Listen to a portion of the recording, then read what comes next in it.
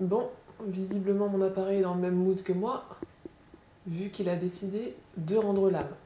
Mais vraiment de, son plein gré. Ça marche Vraiment un tournage qui commence hyper bien. bon, ça fait longtemps qu'on s'est pas vu. Pardonnez-moi si je suis un peu awkward, si je ne sais plus, si je ne sais plus tourner, parce que je ne sais plus comment on fait pour tourner des vidéos. C'est vraiment tout un mood qui s'oublie extrêmement vite. Et puisque euh, la dernière vidéo que j'ai postée sur ma chaîne date de début mars et qu'en plus elle avait été préfilmée, je pense que ça fait à peu près deux mois que j'ai pas, de... que pas filmé de vidéo pour YouTube. Et je ne sais plus comment faire. Je suis sûre que vous, vous aurez même pas remarqué mon absence, parce qu'en plus le temps passe extrêmement vite, mais moi ça me fait tout bizarre d'être de retour ici. On s'est pas vu depuis, je pense, deux mois, hein, d'ici à ce que je poste cette vidéo, parce que euh, je suis euh, partie vivre ma meilleure vie pendant trois semaines aux Philippines euh, en mars, donc forcément j'étais beaucoup trop occupée pour vous faire des vidéos. Et puis ensuite, le retour a été, comment dire, brutal, et m'a ôté un peu toute envie de, lire et de vivre, si vous voulez tout savoir. En vrai, c'est pas vraiment euh, l'envie qui me manquait, mais euh, c'est vrai que ça a été un petit peu euh, dur de se remettre dans le bain et un mois plus tard, je vous avoue que je suis toujours déboussolée et du coup, ben, je lis pas. Enfin, j'ai très très peu lu en l'espace d'un mois et demi, même si j'avais plein de livres qui me faisaient envie, J'arrivais pas à me concentrer. Voilà, je pense qu'on peut appeler ça une petite panne de lecture, comme on dit dans le jargon. Ça va passer, euh, ça arrive de pas être dans le mood. Voilà, le tout c'est que ça ne dure pas trop longtemps parce que c'est quand même à la base ma, ma, passion, la lecture. Et maintenant, il fait trop jour. Forcément, qui dit euh, pas de lecture dit euh, pas de vidéo. Ça va un peu de pair. Donc aujourd'hui, je vous propose une vidéo extrêmement simple mais comme, les, comme depuis le début de l'année en fait sur ma chaîne, une petite vidéo fourre-tout entre le vlog et l'update où euh, je vais juste reprendre euh, tranquillement. Ce sera pas un vlog à proprement parler dans le sens où j'ai vraiment pas la foi euh, de recommencer là tout de suite à faire des petits plans mignons, à essayer de mettre les trucs un peu en scène. je suis pas trop d'humeur à faire ça. Par contre, je me dis que vraiment, si à un moment donné je prends pas ma caméra et que je commence pas à filmer, bah je ferai plus jamais de vidéo. Et ça, ce serait dommage parce que j'adore ça aussi. Et on peut commencer par un petit book haul puisque je me suis acheté deux trois petits trucs. En fait, je me suis acheté que. Ouais, bon, je me suis acheté deux trois petits trucs et euh, j'ai fêté mon anniversaire fin mars euh, à mon retour de voyage et j'ai eu quelques petits cadeaux. Donc, je vais vous montrer ça tout de suite ça ne m'avait pas manqué, ces, ces, changements de lumière incessants, putain, je fais que de faire bouger le... De toute façon, voilà, on a dit que c'était une vidéo pas prise de tête, donc le cadre et la lumière vont changer toutes les 3 secondes. On s'en balèque. À mon retour, j'avais un service de presse qui m'attendait dans ma boîte aux lettres. Service de presse que j'ai été extrêmement heureuse de recevoir. Il s'agit des cartographes de Peng Shepherd, qui est publié comme euh, d'habitude, enfin comme son précédent roman en tout cas, chez euh, Albin Michel Imaginaire. J'avais beaucoup aimé euh, le livre de M et donc la maison d'édition m'a envoyé celui-ci aussi que j'ai commencé. Mais que bah, dans ma, détresse un peu de, panne de lecture, je, suis retournée un peu dans mes vieux travers où tu sais quand tu sais pas exactement ce dont tu as besoin, tu commences des livres, tu t'aperçois que tu n'arrives absolument pas à te concentrer, que ça n'a rien à voir avec le livre et tu le poses en te disant bah je le reprendrai plus tard quand ça ira mieux. Tu commences d'autres trucs, tu poses, tu commences un autre truc, tu poses et tu ne lis pas. Bref, j'ai lu vraiment le tout début, genre 60, euh, 80 pages grand max. Dès que je sentirai que euh, bah, je suis d'attaque à reprendre la lecture assidûment, je le continuerai avec grand plaisir. Mais pour l'instant, voilà, il est, il est dans ma bibliothèque et euh, j'espère que je vais très bientôt le lire. Pour vous résumer un petit peu euh, vite fait, j'ai l'impression qu'on va être à la frontière entre peut-être de l'ASF euh, ou du fantastique et une espèce de, de, thriller ou de roman à suspense, puisqu'on suit une jeune femme dont le père était un cartographe extrêmement renommé qui bosse à la à la, je sais plus comment elle s'appelle, mais la librairie euh, de New York, quoi. Elle avait elle-même commencé une carrière qui s'annonçait extrêmement euh, prestigieuse dans la cartographie. Et puis il s'est passé euh, quelque chose, elle a été virée de son poste. Et quand l'histoire commence, elle fait un petit boulot un peu alimentaire, alimentaire qui ne la passionne pas spécialement. Et euh, très vite, vraiment au début du roman, son père euh, décède dans des circonstances apparemment naturelles de prime abord. Et puis en fait, on se rend compte qu'il y a peut-être un, mystère qui se cache derrière ce, décès.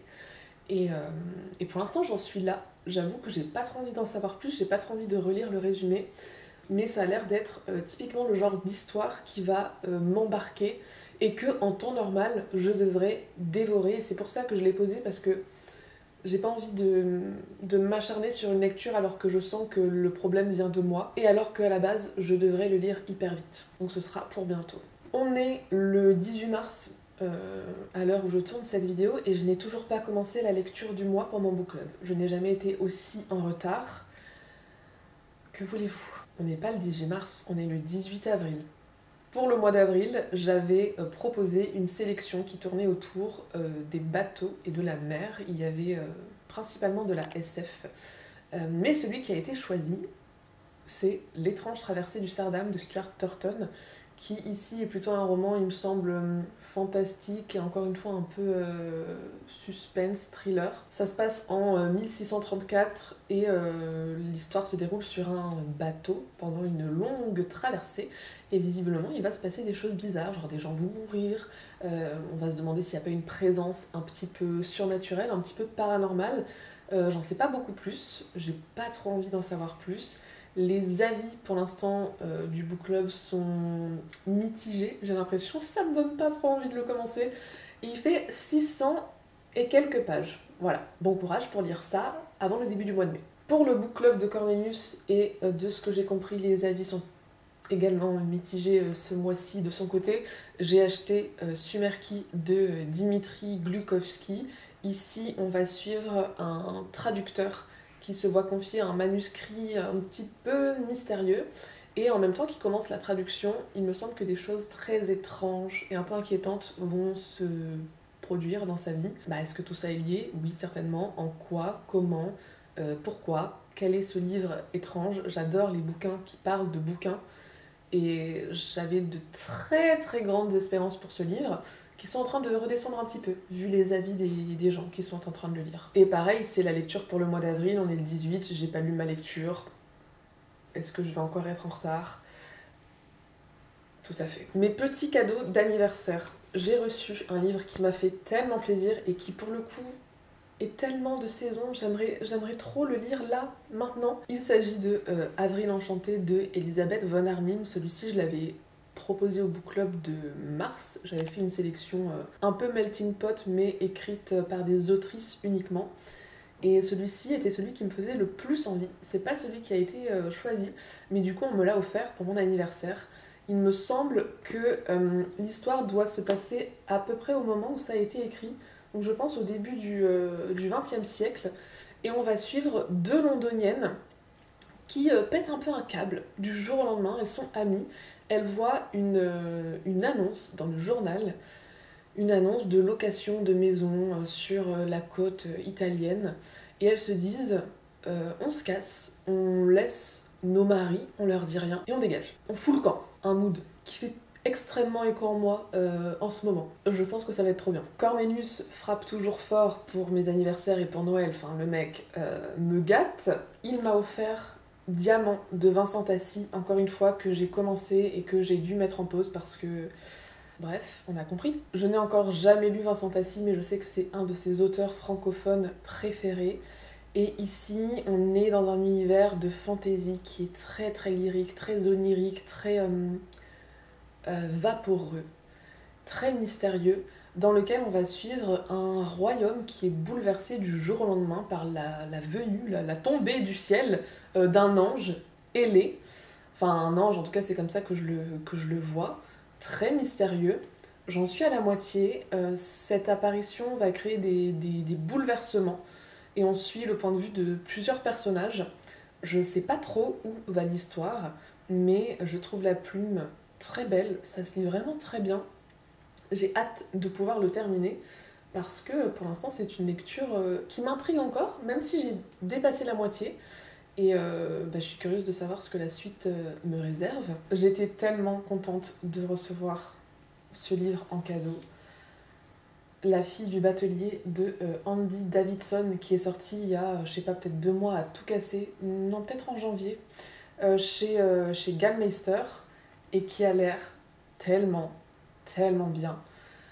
J'ai une petite obsession pour Gallmeister en ce moment, même si ça se voit pas parce que j'achète pas forcément beaucoup de leurs livres et j'en lis encore moins, mais tout ce qu'ils font, j'ai envie d'acheter et j'ai envie de lire. Ça se passe dans le bayou, il y a des histoires de, de sorcières, de marécages, une nuit de cauchemar, l'obscurité engloutit le père de Miranda, un bébé mutant, trafic de drogue sous les ordres d'un pasteur fou et vicieux, magie noire, puissance aussi bien humaine que surnaturelle, un thriller horrifique, magnifique et brutal à l'atmosphère enivrante. Ça a l'air d'être tout ce que je kiffe. Et enfin, le dernier livre que j'ai acheté vraiment sur un coup de tête. Il euh, n'y a, a qu'une chaîne sur Booktube ces derniers temps qui peut me faire acheter des livres comme ça sur une impulsivité euh, extraordinaire. Et c'est bien sûr Books and Bao. Books Bao a encore frappé puisqu'elle a parlé sur sa chaîne d'un roman qui est visiblement son préféré euh, depuis le début de l'année pour le moment et dont elle disait que c'était un genre de roman à cheval entre de la SF et un roman et un roman contemporain. Et c'est vrai, c'est typiquement le genre de roman qui en France se vendrait dans de la littérature blanche alors que c'est de la SF, bel et bien. Et elle disait que ce livre avait changé sa perception du monde, que ça l'avait bouleversé, qu'elle avait trouvé ça incroyable. Et je me suis dit, c'est exactement ce dont j'ai besoin en ce moment. J'ai envie d'être bouleversée, j'ai envie de réfléchir à des sujets euh, un peu euh, existentiels, je sais pas. Je sais pas, je suis un peu d'humeur drama. In Ascension de Martin McInnes, c'est euh, en anglais, c'est pas encore traduit en français, je sais pas si ça le sera.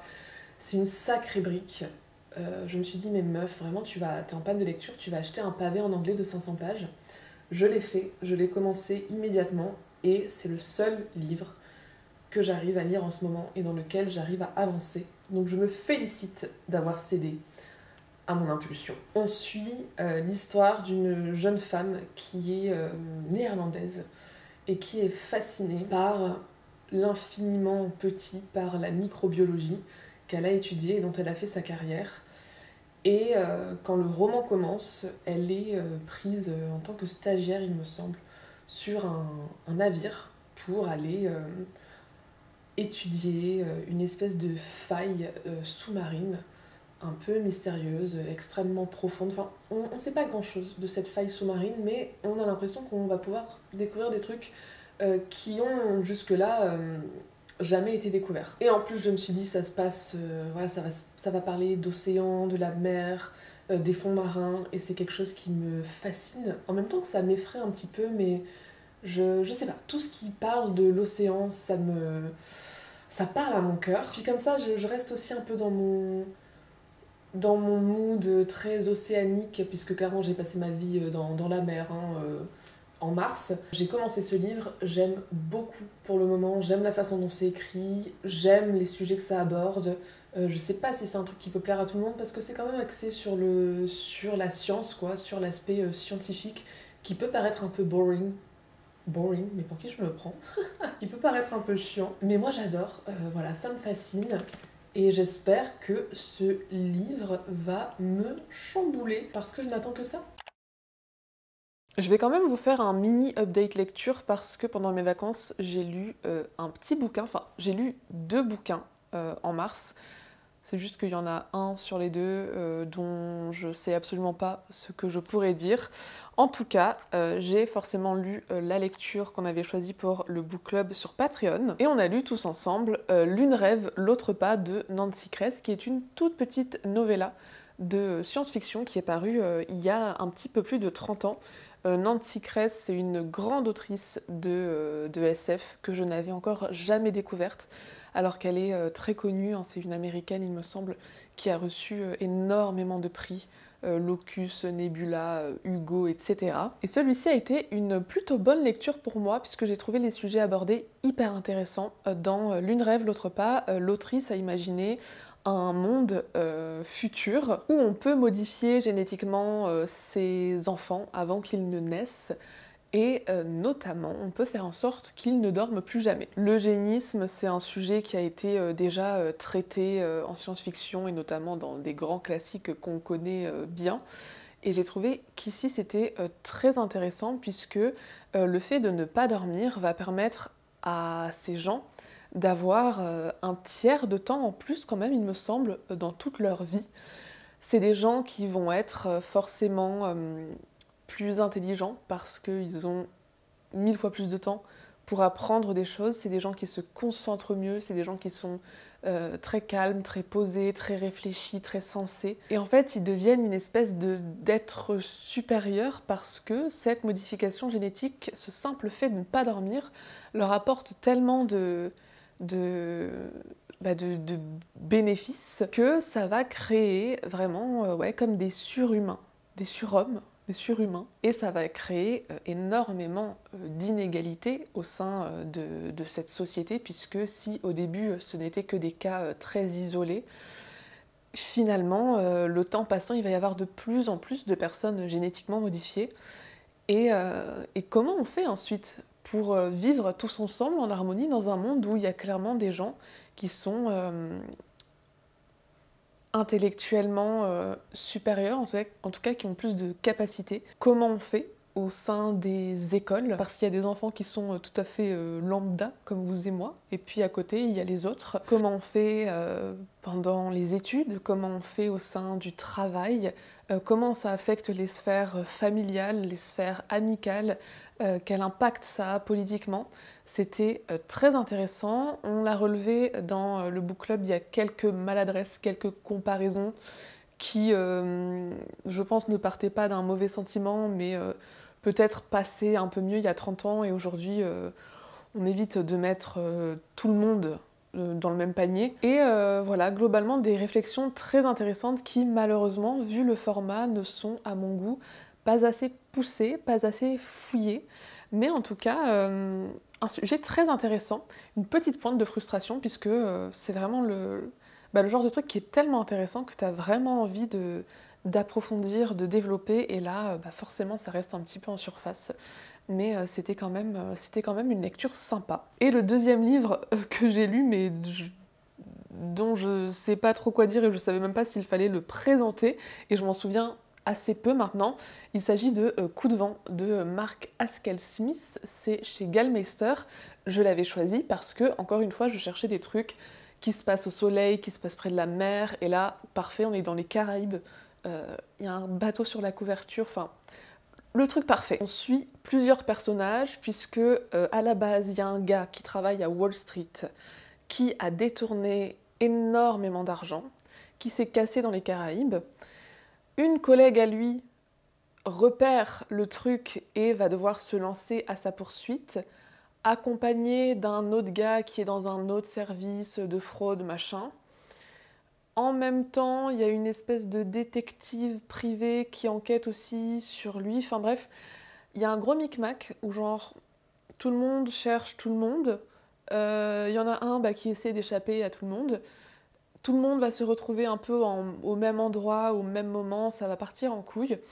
J'ai beaucoup aimé l'ambiance de ce roman parce que euh, le soleil, les tropiques, la chaleur, euh, la mer, les bateaux, on adore. Mais au-delà de ça, j'ai trouvé ça euh, très oubliable et même un peu irritant par moments parce que même si c'était une histoire assez légère, assez sympa, un genre de polar où tu te prends pas la tête, tu lis ça, et puis moi en plus j'ai lu ça, j'étais euh, à l'autre bout du monde sur la plage, donc je pense que c'est pour ça aussi que ça m'a quand même plu, mais euh, c'était quand même... Euh,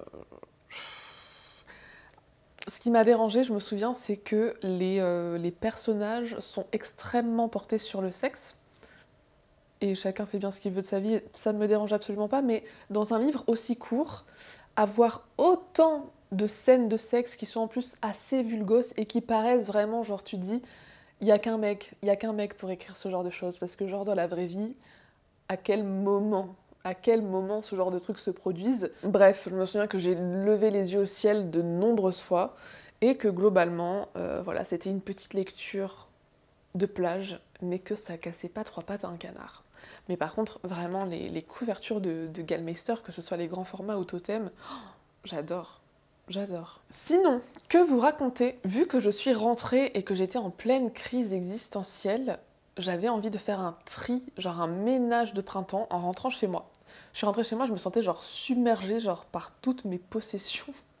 C'est vraiment un truc qui m'arrive vraiment tous les trois mois. Faut savoir que tous les trois mois, je fais du tri, ça dégage. Je donne plein de trucs. Euh, et, je fais régulièrement du tri dans ma bibliothèque, mais souvent je suis un peu timorée, quoi. Je suis un peu timide dans mon tri. Et là, il y a eu un petit, un bruit de gorge. Et là, je suis rentrée et je me suis dit, putain, j'ai tellement de livres. Et je me suis dit, meuf, tu te poses devant ta bibliothèque, tu fais un tri, mais genre de l'enfer. Et encore, franchement, quand on la voit vite fait comme ça, on dirait même pas, j'ai enlevé plus de 70 livres de ma bibliothèque. Des livres que j'ai aimés pour beaucoup, mais euh, dont je sais, enfin je suis certaine que je les relirai jamais.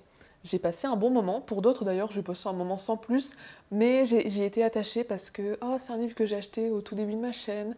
Euh, c'est un livre que j'ai acheté par cette belle journée de printemps. J'étais allée prendre un brunch, il faisait beau, c'était trop bien, mais le livre était à chier. Et j'ai fait vraiment un tri sans pitié. Et encore, j'ai énormément de livres, hein, euh, mais, euh, mais voilà, j'ai fait un énorme tri. Une partie, je vais donner comme je fais régulièrement. L'autre, je l'ai mise sur Vinted parce que j'avais vraiment des titres hyper intéressants, des livres en très bon état et beaucoup de graphiques. À l'heure où je vous parle, il y a encore des trucs des trucs qui sont assez intéressants. J'ai déjà vendu beaucoup, mais si ça vous intéresse, je vous mets le lien euh, en barre d'infos. Et ça fait du bien. Euh, honnêtement, ça fait du bien de temps en temps de se séparer de, choses, de se sentir un petit peu plus légère. Et euh, il n'y aura pas de vidéo book and haul parce que c'est vraiment un genre de vidéo dont je ne vois absolument pas l'intérêt. Enfin, je veux dire, j'ai aucun problème à le voir sur euh, les chaînes des, autres, mais euh, pour moi, euh, je, je, voyais pas l'intérêt de faire une vidéo. Ça m'a même pas traversé l'esprit en fait. Mais je voyais pas l'intérêt de faire une vidéo pour vous présenter 50 bouquins que j'ai déjà lus, dont vous avez déjà entendu parler sur cette chaîne. Et de toute façon, si je m'en débarrasse, c'est que je m'en débarrasse et point. Bref, ce fut une bonne chose de faite, ça m'a fait vraiment du bien. Et comme ça, ça m'a fait un petit peu de place pour les livres du book haul que je vous ai montré juste avant. C'est tout bénef. Et à part ça, est-ce qu'on parlerait pas un petit peu série? Parce que je sais pas si vous avez regardé Daisy Jones and the Six sur Amazon Prime, mais moi je l'ai fini hier soir en PLS. J'ai chialé toutes les larmes de mon corps. Et euh, j'avais déjà parlé du livre Daisy Jones and the Six sur ma chaîne il y a un petit moment, et je l'avais lu très longtemps avant de faire la vidéo dans laquelle j'en parle. Bref, je crois que j'ai lu ce livre genre il y a 3 ans et demi, 4 ans. Je l'avais écouté sur Audible en anglais, c'était génial parce que euh, Daisy Jones and the Six, c'est un bouquin qui est raconté sous forme d'interview. Il y a beaucoup de personnages et chaque personnage avait son, son narrateur, sa narratrice. C'était une trop bonne expérience de lecture, j'avais beaucoup aimé. C'était pas un coup de cœur ultime, mais c'est vraiment une histoire que j'avais beaucoup aimée. Et j'étais trop contente de savoir que ça allait sortir en série, parce que, mine de rien, c'est là que tu vois un peu les limites de la lecture. C'est que quand tu parles, enfin, quand tu écris un livre qui parle de musique, bah, c'est un livre, il n'y a pas de musique. Et j'avais très hâte de voir la série, et mon dieu, mais quelle ne fut pas ma surprise. Enfin, en fait, j'avais aucune attente, bizarrement. Mais j'ai été hyper ravie de voir ce qu'ils en ont fait, parce que je trouve que c'est une série euh, magistralement réussie. J'ai trouvé que les acteurs et les actrices étaient incroyables. Je trouve que le bouquin a été hyper bien respecté dans sa trame, euh, dans sa narration, dans son histoire et dans son, dans son ambiance. Je l'ai lu il y a 3-4 ans, donc j'imagine qu'il y a des trucs qui diffèrent, mais globalement c'est hyper fidèle. Au niveau de la musique, je trouve que c'est réussi, c'est trop bien, c'est exactement la vibe, le style, le genre que j'imaginais. L'actrice chanteuse elle est incroyable. C'est pas toujours que j'aime les histoires de gens un peu torturés, euh, un peu autodestructeurs, euh, euh, qui font du mal à eux-mêmes, qui font du mal aux autres sans forcément le vouloir, la drogue, machin. Mais, mais là, j'ai tellement kiffé, j'ai tellement kiffé, j'ai trouvé que c'était tellement humain, que c'était tellement puissant, que c'était, je sais pas, que c'était, beau, c'était dévastateur, c'était destructeur et en même temps c'était c'était triste, c'était plein de poésie. Enfin, gros coup de cœur, mais gros coup de cœur sur cette série. Je pense que c'est le genre de série que je, que re-regarderai avec plaisir. Et. Euh, Mais je crois que j'ai des problèmes, il faut que j'arrête de pleurer. Je pense que c'est pas une série qui, qui, fait pleurer, mais moi j'ai pleuré de ouf. Enfin voilà, euh, c'était tout pour, euh, pour cette portion de la vidéo. Je crois que j'ai discuté de, de, tout ce que je voulais aborder aujourd'hui. J'avance toujours euh, très lentement dans ma lecture de In Ascension. Je me suis acheté un petit livre tout à l'heure. Je vous en reparlerai en temps voulu. Je pense que je le lirai dans, dans ce Vlupdate. C'est encore une lecture qui s'annonce euh, dévastatrice.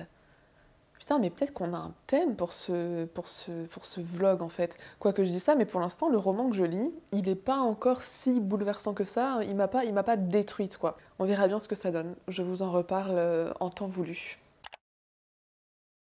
On se retrouve pour la dernière portion de cette vidéo. Enfin, puisque j'ai commencé le montage des deux premières parties. Et je constate qu'elle est déjà assez longue et euh, on dirait pas comme ça puisque j'ai tout le temps euh, je m'habille tout le temps pareil, j'ai tout le temps la même tête et je ne bouge pas d'emplacement.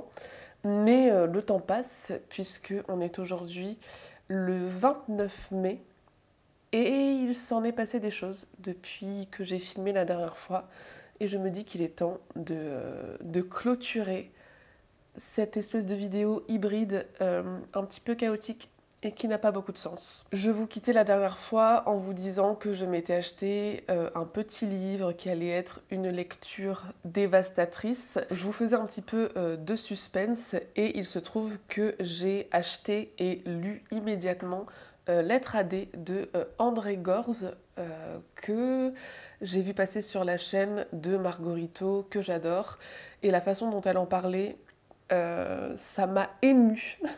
Genre déjà de l'entendre parler de ce livre, j'étais à moitié dévastée et je me suis dit ok, il faut absolument que je le lise tout de suite. Lettre à D, c'est un très très court livre, euh, mais c'est une lettre que euh, l'auteur a écrite à sa femme, euh, Dorine, sa femme avec qui il a vécu quasiment toute sa vie adulte, puisque je crois qu'ils ont vécu pratiquement 60 ans ensemble.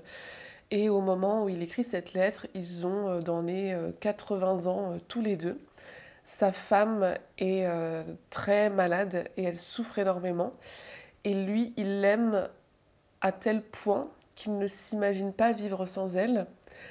Et donc il lui écrit cette euh, lettre d'amour dans laquelle il revient sur euh, leur vie commune, sa vie un petit peu plus personnelle en tant qu'auteur, en tant qu'écrivain, euh, mais aussi sur, euh, voilà, sur leur amour et sur tout ce que euh, sa femme lui a apporté. Et cette lettre, il l'a écrite quelques mois ou peut-être un ou deux ans, je ne sais plus, avant qu'ils se donnent la mort tous les deux. puisqu'ils ne supportaient pas l'idée de vivre l'un sans l'autre. C'est une lecture, évidemment, qui m'a bouleversée. J'ai pleuré toutes les larmes de mon corps, j'ai corné énormément de pages parce que j'ai trouvé ça extrêmement beau, bien écrit. Euh, c'était poignant. Vous savez, moi je suis une sensible, je suis une petite Madeleine et il m'en fout peu. Mais là, c'est quand même pas peu. Enfin, je veux dire, c'est, magnifique. Et tu pleures, mais même pas vraiment de tristesse parce qu'au final, ils ont eu une chance immense, ces gens, d'avoir le privilège de se rencontrer assez tôt de passer presque 60 ans ensemble et de vieillir ensemble et de, de grandir ensemble. Je suis désolée si vous entendez des petits ronflements, mais j'ai des allergies de l'extrême et quand je parle, je pense que ça s'entend, j'espère que c'est pas trop désagréable. Voilà, je vais pas vous en dire euh, beaucoup plus parce que c'est très court et, euh, et je veux pas... Enfin, il n'y a pas non plus 3 euh, milliards de choses à en dire si ce n'est que c'est très bien écrit, c'est beau, ça m'a énormément touchée, ça m'a énormément émue.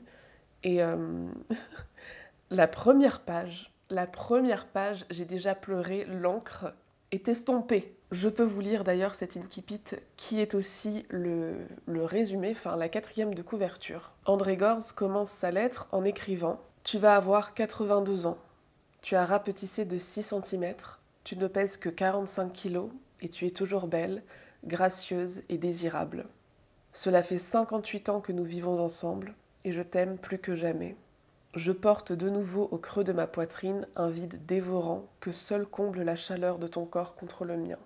je vous lis une autre phrase qui a euh, ruiné mon petit cœur, mais qui euh, résume euh, très bien leurs leur sentiments et leur décision de partir ensemble.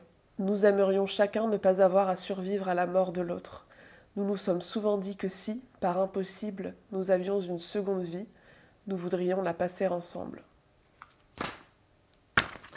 Voilà, si vous avez envie d'un amour euh, solide, profond, euh, et, qui change un peu euh, de ces histoires d'amour qu'on lit le plus souvent, où c'est vrai que dans la littérature, on encense l'amour naissant, les prémices de l'amour, les, jeunes relations, et finalement, a assez peu ce point de vue de, l'amour qui a survécu au passage du temps on a assez peu accès à des témoignages d'amour de personnes âgées qui ont passé leur vie ensemble, qui ont, euh, un peu de bouteille. Et ça donne vraiment une dimension euh, encore plus profonde et encore plus, euh, encore plus vraie, je trouve, à cette histoire d'amour. Bref, je m'arrête là parce que ça fait déjà 10 minutes que je parle et j'ai trop de trucs à dire et cette vidéo va durer beaucoup trop longtemps.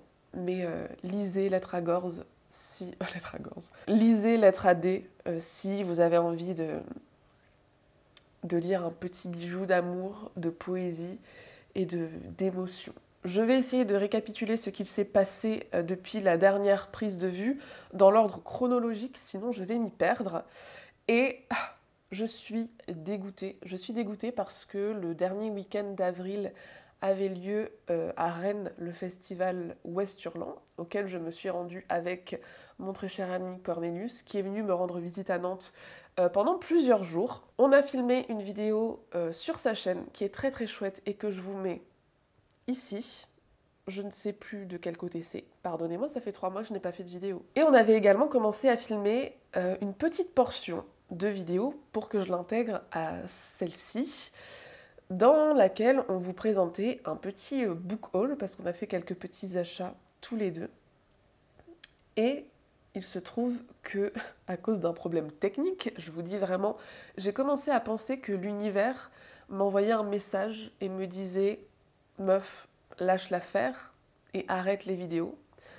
Parce que entre mon appareil photo qui s'éteint au bout de 5 minutes et qui n'enregistre pas ce qu'on vient de filmer, mon logiciel de montage qui m'a dit fuck euh, du jour au lendemain, pendant que je commençais à monter cette vidéo, le truc ne m'était jamais arrivé. J'utilise Premiere Pro depuis bah, 5 ou 6 ans, je sais plus depuis combien de temps je fais des vidéos, 5 ans. Ça arrive d'avoir des bugs, euh, ça arrive que l'ordi soit lent, qu'il ait un petit peu de peine, mais que mon logiciel de montage ne marche plus du tout, du tout, du tout, ça ne m'était jamais arrivé. Bref, tout ça pour dire que euh, la vie m'a un peu mis des bâtons dans les roues et que j'avais commencé à filmer avec Cornelius et que euh, il n'y a plus trace de, ce début de vidéo. Mais je vais quand même vous montrer euh, ce que moi j'ai acheté et ce qu'on s'est échangé parce que je lui ai donné quelques petits graphiques et il m'a aussi donné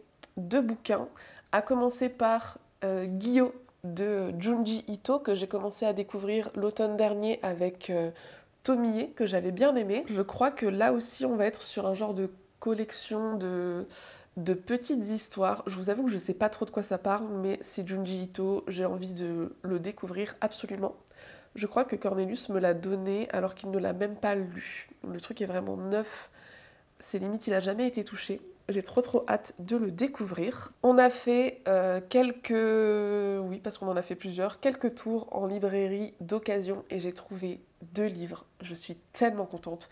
Vous savez que j'ai euh, les deux premiers tomes du cycle d'Hyperion de Dan Simmons dans mes vieilles éditions euh, France Loisirs qui se calent sur les Robert Laffont. Robert ou Michel, je ne sais jamais. Robert, hein. avec ces couvertures merveilleusement rétro, pour ne pas dire kitsch, mais que j'adore. C'est des éditions reliées. Bref, je me suis dit, je trouverai jamais le 3 et le 4 euh, parce que j'ai l'impression que ça se fait rare quand même. Et quelle ne fut pas ma surprise de découvrir dans ma bouquinerie locale euh, bah, toute la, la, quadrilogie. Je ne sais plus que si, la tétralogie. je ne sais plus. Il y a quatre tomes, le 3 et le 4. Voilà, parfaitement dans les éditions qu'il me fallait, en très très bon état. 7 euh, euros pour les deux. Incroyable. Je n'ai pas encore lu le deuxième tome, j'ai lu que le, premier, mais euh, je compte bien euh, terminer cette saga un jour. Et quand c'est des beaux livres comme ça, dans des vieilles éditions, qu'on trouve plus si facilement que ça, je préfère faire de la réserve et, et avoir de l'avance. Donc je suis trop trop contente d'avoir cette belle collection au complet dans ces couvertures, mais sublime. Je suis trop fan. J'ai fait une autre trouvaille incroyable le même jour dans la même bouquinerie puisque j'ai trouvé Les Lions d'Al-Rassan de Guy Gabriel Kay dans cette incroyable édition La Talente, mais je pense que c'est la toute première. Le prix est encore en francs. Il coûtait 149 francs. Et écoutez, je ne sais pas comment c'est possible parce que il est sorti en 98. Il a 25 ans. Et on dirait qu'il sort de l'imprimerie. Il est blanc, immaculé. Il est dans un état, mais parfait. En plus, c'est les couvertures, vous savez, cartonnées, qui ont quand même tendance à, s'abîmer assez rapidement. Je suis outrée. Il y avait aussi euh, Tigane et la chanson d'Arbonne que j'ai pas pris parce que euh, c'est vraiment dans mes goals de cette année, j'en avais fait une vidéo sur Patreon, de lire Les Lions d'Al-Rassan, c'est celui qui me tente le plus euh, de l'auteur. J'ai pas pris le reste parce que c'était vraiment pas raisonnable, mais ils étaient dans les mêmes éditions et je suis trop contente parce que je la trouve incroyablement belle. Par contre, je ris parce que de loin, sans mes lunettes, euh, la talente là, on dirait des dents. On dirait que le lion il est comme ça et qu'il a des dents d'humain. Bon, quand je regarde de près, pas du tout, mais là, dans le retour caméra, j'ai trop l'impression. Bref, je ne vous ai même pas dit de quoi ça parle, mais Les Lions d'Al-Rassan, euh, je crois que c'est un genre de euh, fantaisie euh, historique qui est un petit peu calé, je crois, sur la Reconquista espagnole, je ne sais plus. Oui, voilà. Les Lions d'Al-Rassan trouvent son origine dans l'Espagne du Cid et des débuts de la Reconquête après la chute du califat de Cordoue. Et apparemment, c'est formidable. Lors d'un passage en librairie, euh, Cornelius m'a fait cadeau du premier tome de la Tour de Garde, c'est euh, Le sang de la cité. Donc celle-ci, c'est la trilogie de Guillaume Chamanadian, Capitale du Sud et Capitale du Nord est écrite par euh, Claire Duvivier. C'est une saga à quatre mains. C'était la lecture du book club, enfin de mon book club sur Patreon pour le mois de bah, ce mois-ci.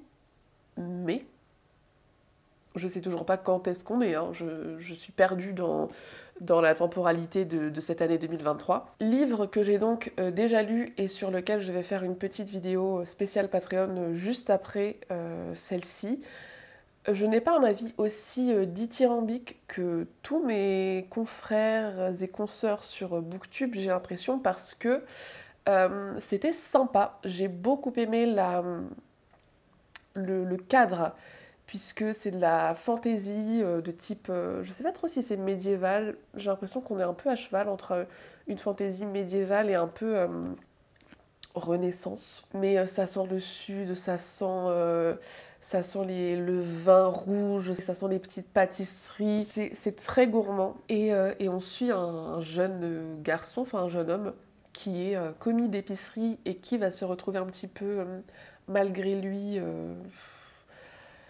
englué dans des espèces de, de, complots politiques. Et la principale raison qui fait que j'ai pas adoré cette lecture, même si j'ai passé un bon moment, c'est que euh, c'est très très très euh, introductif. C'est un roman qui fait presque 400 pages et euh, dans lequel moi j'ai trouvé qu'il se passait pas grand chose. Après le problème que j'ai aussi par rapport à d'autres sur Booktube, enfin problème qui n'en est pas un du tout, mais c'est que là où je pense la plupart des gens que je suis ont lu ce livre peut-être en une après-midi, moi j'ai mis une petite semaine, donc forcément le temps me paraît un petit peu plus long. Et, euh, voilà, c'est globalement la, seule chose que j'ai à lui reprocher, c'est que c'était euh, un petit peu introductif, un petit peu long et un petit peu euh, lent. Et que du coup, je trouve que les enjeux n'étaient pas encore très,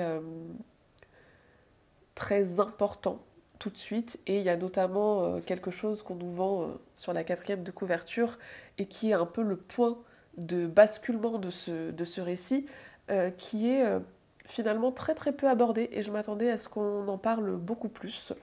Donc voilà, c'est un début de saga. Je ne sais pas si j'ai été assez convaincue pour continuer, d'autant que si je veux faire les choses bien, il faut aussi alterner avec euh, Capitale du Nord et ça me fait en tout 6 euh, tomes à lire.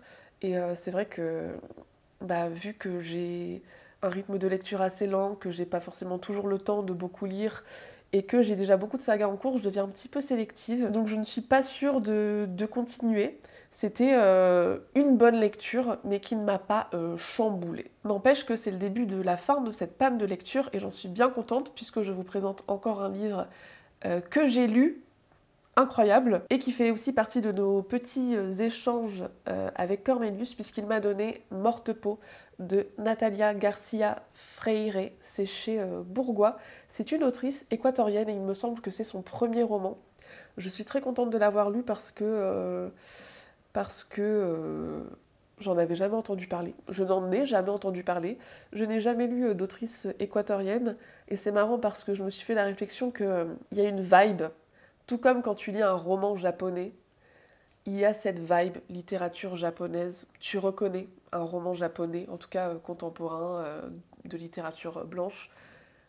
Et, et là, on, sent que c'est de la littérature sud-américaine. Il y a cette espèce de noirceur, de c'est sombre, c'est c'est dur, c'est c'est très morbide.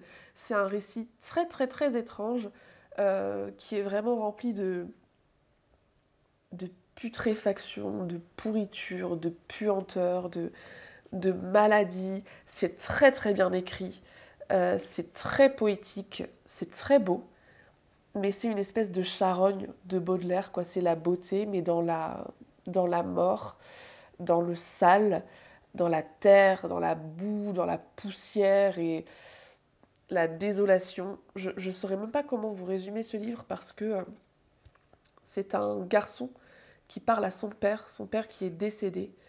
Et la première phrase, c'est Je ne crois pas que mon défunt père m'observe.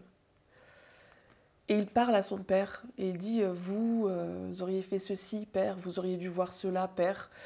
Et c'est un peu le récit de la, de la chute, de la décadence de sa famille, à partir du moment où deux hommes étranges s'immiscent dans leur vie, de l'époque du vivant du père d'ailleurs. Et tout est dit un peu à. Enfin, c'est très bizarre c'est très imagé, mais en même temps c'est très cru dans le, dans le sordide. Je, je sais vraiment pas comment euh, en parler. En tout cas, euh, ça se lit très rapidement hein, parce que ça fait 150 euh, pages à peine. Je pense que c'est vraiment ça qu'il me fallait, des lectures assez courtes que je pouvais lire vraiment très vite. Et écoutez, si ce que je vous ai dit vous intrigue, bah, n'hésitez pas à découvrir ce livre assez étrange. Sur la quatrième de couverture, on nous dit que ce n'est pas sans rappeler Shirley Jackson ou Daphné du Maurier. Pour Shirley Jackson, je vois totalement le truc. Il y a une espèce de vibe à, euh, à là, nous avons euh, toujours vécu au château, mais euh, version sud-américaine et version encore plus dark, je trouve. Daphné du Maurier, j'aurais pas fait la comparaison, mais ouais, on est à cheval entre un genre de nous avons toujours vécu au château et une espèce de cent ans de solitude, mais très très très réduit. C'était intéressant. C'était intéressant. Euh, c'était déconcertant aussi, surtout. Mais vraiment une très belle plume euh, à découvrir, pourquoi pas. Je suis en train de m'étouffer. Et pour finir avec euh, ce petit update lecture, j'ai lu encore une fois un court roman, une novella même, puisque j'ai lu le premier tome des Enfants indociles de Shannon Maguire, c'est Les Portes perdues. Je l'ai lu sur liseuse parce que, figurez-vous que je me modernise, je me mets un petit peu à la page. J'en attendais pas forcément grand-chose. C'est une euh, petite saga que je vois passer depuis des années euh, sur Booktube et qui est traduite depuis euh, pas si longtemps que ça, il me semble, chez... je ne sais plus. Je ne sais plus chez qui. Pygmalion. Pygmalion. Et je me suis dit que ça allait me parler puisque ça parle de, de, jeunes, de jeunes adolescents qui, par le plus grand des hasards, ont euh, chacun trouvé une porte vers un monde euh, parallèle dans lequel ils se sont rendus et euh, où ils se sont sentis chez eux, comme jamais ils ne s'étaient sentis chez eux dans notre monde. Je ne sais pas si cette phrase est très française, mais vous avez compris. Et tous ces enfants ont d'une façon ou d'une autre été soit chassés de ce lieu, soit ils en sont sortis euh, par inadvertance, enfin par accident, et ils ne peuvent plus y retourner.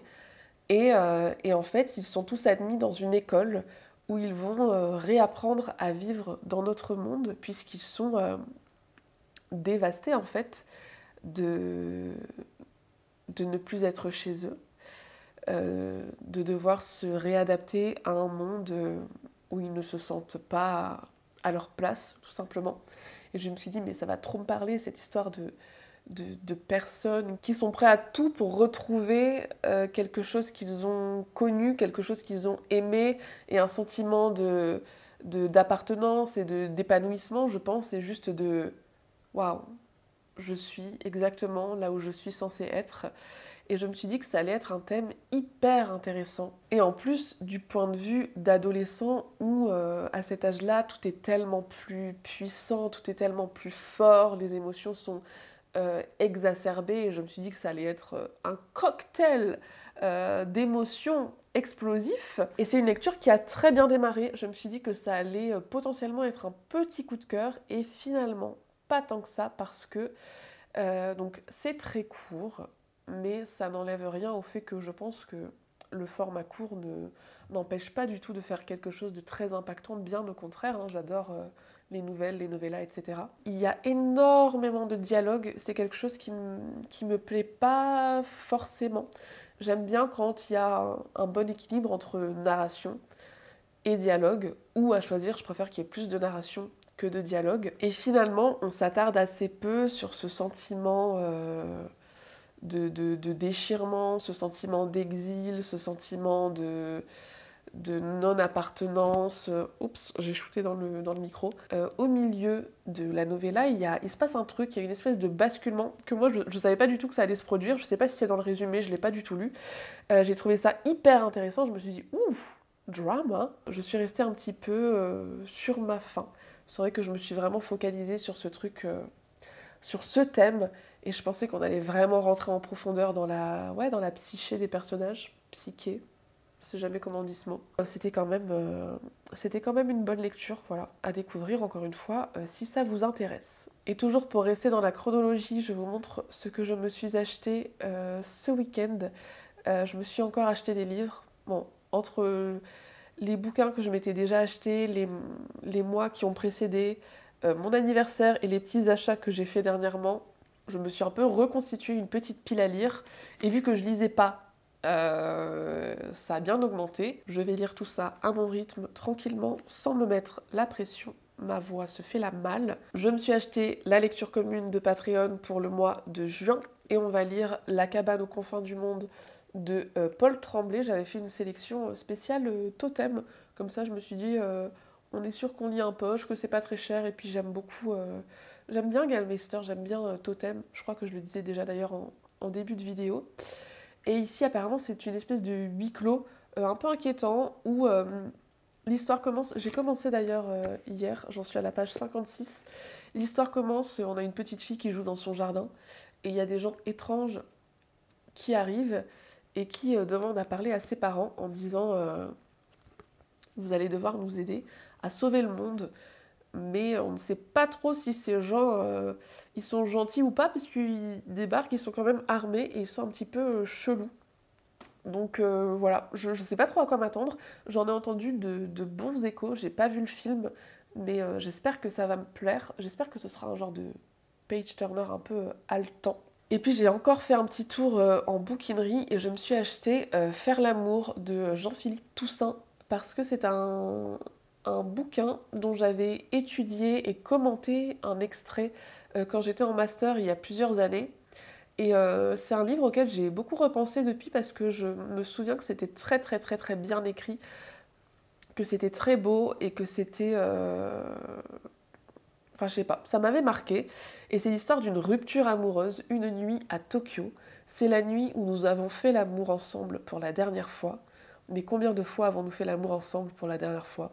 Je ne sais pas. Souvent. Et en fait, je me le suis pris parce qu'encore une fois, c'est très court, ça fait 150 pages. Et euh, demain, je vais dans, dans l'Est en train. Et donc, euh, je me suis dit que j'allais pouvoir lire ça peut-être euh, d'une traite. Et voilà, ce sera ma petite lecture de, ma petite lecture de train. Et je pense que ça va me plaire puisque, bah, puisque j'en avais déjà étudié un extrait et, et que j'avais bien aimé. Bon, après, c'était il y a très longtemps mais on verra bien ce que ça donne. Et avec ça, je crois que je crois qu'on est bon. Je me sens enfin prête à, à ça y est, à de nouveau poster une vidéo. Euh, j'ai vraiment très peu souvent eu le cœur à filmer ces derniers temps. Comme je vous le disais déjà, pareil, euh, en début de vidéo, bah, pour des raisons euh, personnelles, pour la simple et bonne raison aussi que je ne lisais plus beaucoup. Et forcément, quand tu as une chaîne qui parle de livres, et eh ben si tu ne lis pas, tu n'as pas de contenu à produire. Et euh, c'est fou ce que les années euh, se suivent et ne se ressemblent pas parce que je disais dans mon bilan 2022 euh, que, que ça avait été une très bonne année de lecture, tant en, termes de quantité que de qualité, mais 2022 a été une année aussi très paisible pour moi, une année où je suis beaucoup restée chez moi, une année où je me sentais très bien mentalement, physiquement et et où j'ai profité justement d'être un peu dans ma petite bulle, dans mon petit cocon pour lire énormément. Et je sens que 2023 n'est pas sur la même vibe. Je sens que j'ai l'intuition que 2023 va être une année un petit peu bizarre, une année... Euh, j'ai aucune idée de, ce à quoi je dois m'attendre pour la suite. Mais, euh, mais en tout cas, ça m'a fait plaisir de tourner ces, petits instants de, de vidéo euh, quand j'en avais l'envie. Je suis contente aussi d'avoir d'avoir recommencé un petit peu à lire euh, et, je suis contente aussi de, votre soutien parce que euh, quand j'ai partagé sur Instagram euh, la vidéo qu'on a tournée avec, avec Cornelius, j'en ai profité pour dire bon bah voilà, il y a une vidéo sur la chaîne de Cornelius et il n'y en a pas sur la mienne parce que voilà, j'ai pas trop le moral, parce que je suis en panne de lecture. et juste vraiment trois lignes pour dire que je prends mon temps, que pour l'instant je le sens pas trop. J'ai reçu des dizaines et des dizaines de messages de votre part juste pour me dire prends soin de toi, prends ton temps, tu reviendras quand tu peux, tu nous manques, mais genre pas de pression. Et je trouve ça fou en fait euh, de me dire que bah je sais pas que vous êtes là, vous m'apportez votre, soutien. Enfin je sais pas, c'est quand, on fait des, des vidéos euh, tout seul chez soi, des fois on, oublie que vraiment il y a des gens qui, qui les regardent et qui potentiellement les apprécient. Et ça fait chaud au cœur en fait, vraiment. Et donc je me dis que bah, peut-être vous serez content, contente de, de voir une nouvelle vidéo sur cette chaîne. Je ne sais pas quand sera la prochaine, j'ai pas envie de faire de promesses que je ne pourrai pas tenir. D'ailleurs, je n'ai pas lu L'étrange traversée du Sardam, euh, qui était à mon book club du mois d'avril. Mais je me suis dit que si je le lisais avec un mois de, retard, j'allais prendre du retard éternellement. Et je me suis dit, ça, ça ne sert à rien je sais même pas si je le lirai au bout du compte. Et en tout cas, j'espère que dans la prochaine vidéo, je vous parlerai. C'est vraiment. Ça, c'est vraiment l'illustration de la panne de lecture pour moi. C'est quand tu as plein de livres en cours, que tu as commencé il y a trois mois et qui sont toujours pas terminés, que tu as lu d'autres trucs entre temps, euh, que tu as essayé d'autres trucs aussi et que tu pas terminé. Bref, j'espère que dans la prochaine, je vous parlerai de In Ascension. Euh, je suis un peu restée keblo, mais bon, bah, c'est pas grave. J'espère que je vous parlerai de diamants. Toujours Keblo. Et puis euh, des cartographes. Voilà. Euh, j'ai un tout petit peu avancé, mais euh, pas beaucoup. Et voilà, je pense que, je pense que c'est tout, que je vais m'arrêter là. Si vous avez regardé cette vidéo jusqu'au bout, mais félicitations en fait, félicitations vous méritez une médaille. Putain, je vais faire comme les autres booktubers. Si vous êtes arrivé jusque-là, mettez-moi un emoji flamme. Parce qu'on a besoin d'étincelles dans cette vie. Prenez soin de vous, euh, faites des lectures qui vous font du bien ou ne lisez pas. si comme moi, euh, vous êtes un petit peu en panne de lecture. Ce que j'ai fait aussi, c'est que j'ai commencé à binger Orange is the New Black, alors dix ans après tout le monde, mais comme d'habitude. Mais euh, c'est trop bien aussi quand on n'arrive pas à lire, de juste pas lire et de, de regarder des trucs, regarder des films, regarder des séries, jouer aux jeux vidéo. Ça fait du bien. Bref, prenez soin de vous. Je pense à vous. J'espère que je vous retrouverai dans pas très très longtemps. Et, euh, voilà. Lâchez-moi un petit coms. N'hésitez pas à me dire euh, tout ce qui vous passe par la tête. Et euh, je vous embrasse bien fort, même si en vrai je ne suis pas malade, mais ouais non, ça donne pas trop envie que, que, j'embrasse qui que ce soit là. Bon allez, cette vidéo est beaucoup trop longue. Je vous dis à bientôt, je l'espère. Bye.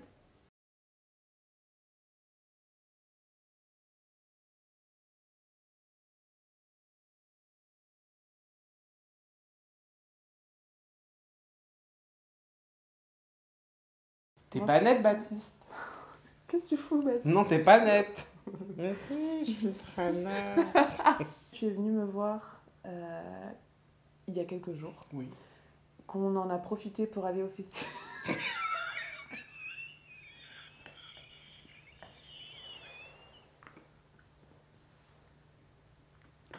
Encore une fois, Mais pourquoi tu ris? Le fiasco.